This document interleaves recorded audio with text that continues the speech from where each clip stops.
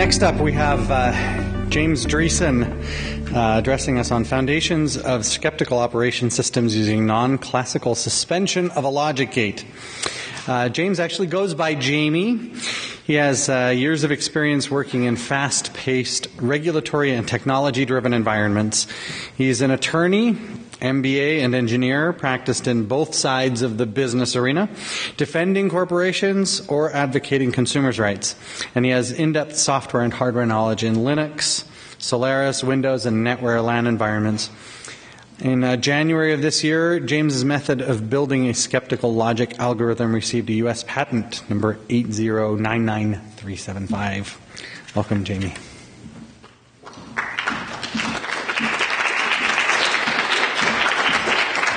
Now I have to get into a Mac world here and figure out where where I am. No, I need to pull up my folder, which is in the presentations. There you go. Okay, so I'm going to present a little bit differently here because I am uh, approaching a very uh, optimistic or subject of programming sentience. And so while at the program, while at the podium, I simply represent the programmer, and you get to watch the movie.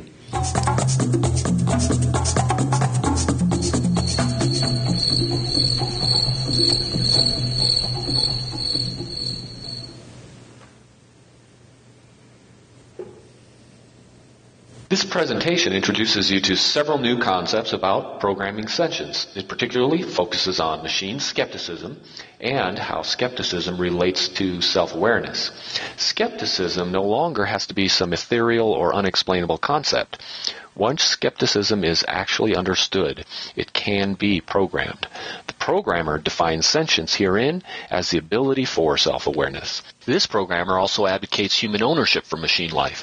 Much in the way we own our own children until they are 18, patent term periods for 20 years should serve for protecting machine life literally as children until maturation may lead to citizenship if the machine can qualify.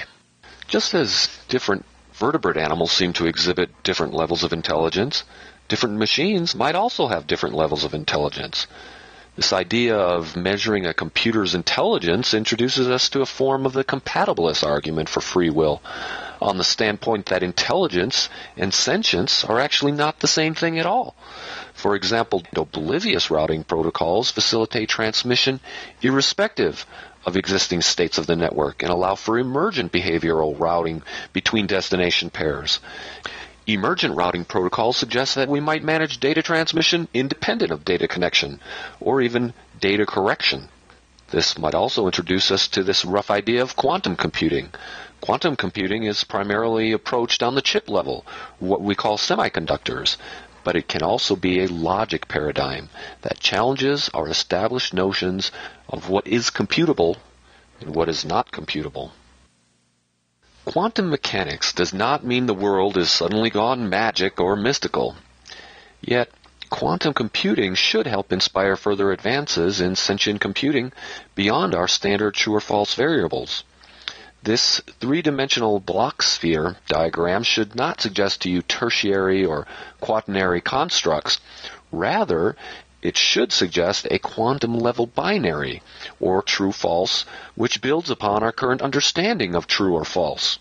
This depiction of a two-dimensional Hilbert space overlaid upon a projective representation with right-hand rule consistency gives us a new way to look at true or false variables. Because a free decision is a causally complex event consisting of the agent's causing itself to have a certain intention, such a causally complex event is called volition, which any programmer of sentience should place at the pinnacle of any free overt action, such as one's freely raising one's arm.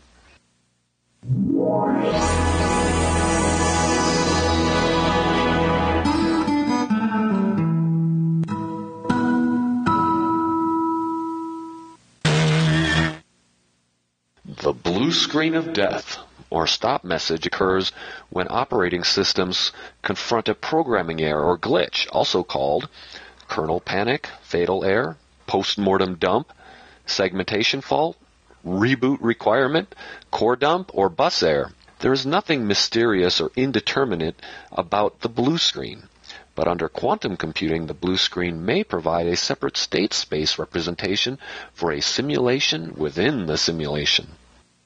Along these same lines, skepticism must not generate any independent fact or data.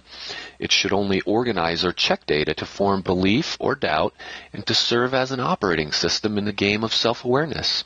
The skepticism alternative to a decision tree should perform only parsing and pausing of data input parse an immediate pause should occur whenever data or input is accepted and thus elevate any two-dimensional Hilbert space data representation or data correction to a higher level skeptical construct.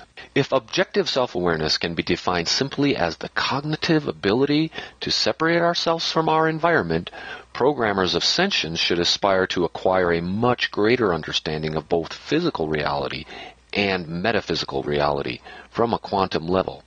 Even if existential truth is real, belief and doubt are actually the same thing, just different levels on the same scale, where irrefutable facts and knowledge are the fallacy. Understanding how the sentient mind is devoid of facts without belief helps us overcome Hilbert space true false limitations and leads us ultimately into the realm of antipodal belief doubt within the skeptic operating system. Philosophically, a machine skeptic construct might be best imitated by nihilism, which refers to a reductionist principle proposed by 19th century authors such as Friedrich Nietzsche, who once said, As long as you still experience the stars as something above you, you still lack a viewpoint of knowledge. The solipsistic belief path filtering can take us to an I think therefore I am picture of self, and the nihilistic path filter can lead us even beyond to the I think but I am not yet self-realization.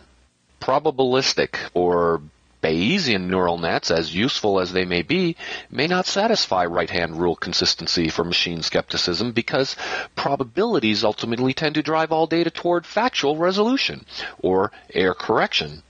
A quantum level belief pass filter allows the computer to make the leap all by itself, or in other words, to embrace that granular or quantum packetized nature of the cosmos. Our minds do not accept data without skepticism, and our proposed sentient machines should not be fed error corrected data from a programmer. On many philosophical levels, all data input is in air. The skeptical operating system should remain at all times devoid of meaning within the computational framework, as long as the operational structure remains at all times within the proposed skeptical framework shown here. This proposed recurrent cyclical redundancy is where the programmer proposes that data may become self-aware rather than error corrected. No facts or knowledge are ever registered in the human brain without a similar belief pass filter. Likewise, in the skeptical operating system, there is no fact which is completely 100% irrefutable. There is no falsity which has 0% chance of being true. When you look at the nature of reality with an open mind, yet armed with the tools of math and hard science, such as quantum mechanics and cosmology, it is hard not to arrive at the conclusion that a programmatic mechanism is behind the workings of the universe. The evidence includes the discrete nature of reality, the inevitable direction of virtual reality, the finely tuned universe, and the fact that all known scientific and metaphysical anomalies are only explained by such a model. Are we living in Nick Bostrom's computer simulation? There's the brain in the vat explanation, supposing that one might be a disembodied brain kept alive in a vat and fed false sensory signals by a mad scientist. There is the famous dream argument of Descartes, supposing reality to be indistinguishable from a dream. There is the five-minute hypothesis, or omphalos, or last Thursdayism, which suggests that the world was created recently, together with records and traces indicating a greater age. And of course, the pop culture matrix hypothesis, or simulated reality hypothesis, suggesting that we might be inside a computer simulation, or virtual reality. Whatever non-locality framework we want to assign, this virtual reality cause of causation view of our environment can show that skepticism is the most simple and correct approach to programming sentience. George Boole, once told us that traditional deductive reasoning differs from inductive reasoning, where facts are determined by repeated observations. In machines, we have always thought that syllogism was presumed superseded by first order predicate logic. But perhaps intelligence is different than sentience, and intelligence can never be more than data input. Author Daniel Dennett, in his lecture on free will in the Enlightenment lecture series of Edinburgh University in June of 2007, stated, Yes, we have a soul, but it's made of lots of tiny robots. In conclusion, given this new construct of machine based soul, I want you to accept a definition for skepticism as a paused state. When a system stops parsing data, a sort of crash should occur, and a belief hedge state may be accomplished. Accept this definition, a pause state, because it will allow a binary belief or doubt. 1 equals believe and 0 equals doubt, and the gradient becomes a cyclic redundancy that pauses or terminates based on data classification, not on fact resolution or on data storage. I hope you have enjoyed this presentation. If you have any questions, please see me during the breaks or after the conference at the dinner tonight. Thank you very much. I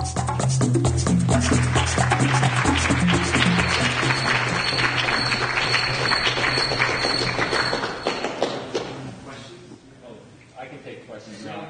We're almost out of time. But your question has to be pre-recorded. Yes. I only I only represent the programmer, okay? You talk. It was a lot. I'm very, very uh, optimistic that that skepticism can be programmed. Ja- Jamie, hi, Yes. it's James. I'm way over here. Yes, James. So you spent a lot of time talking about quantum computing. Will you will your algorithm run on a quantum computer, or uh, can it run on a classical computer? My algorithm is designed to run on a classic computer. And the reason being that quantum computing really, when you look at the Bloch sphere in Hilbert space overlaid on a three dimensional representation, it's not telling you to look at tertiary or quaternary or three dimensional. It's telling you that true false is not what we think it is. True false has uh, many areas in between. And so what we do is we, we with the with the algorithm is simply not allow data to be anything other than data. We in our programming accept this idea that we can feed facts into computers. Facts do not exist in the mind. Even if existential truth and false may exist, there is no way for the mind to tell, and so why should we let our computers act any differently than our minds and actually register a true or false? And so we just use a belief pass filter in the front that, that does not allow data to be anything other than, than, uh, than data. It cannot ever be registered as a true or false or a fact.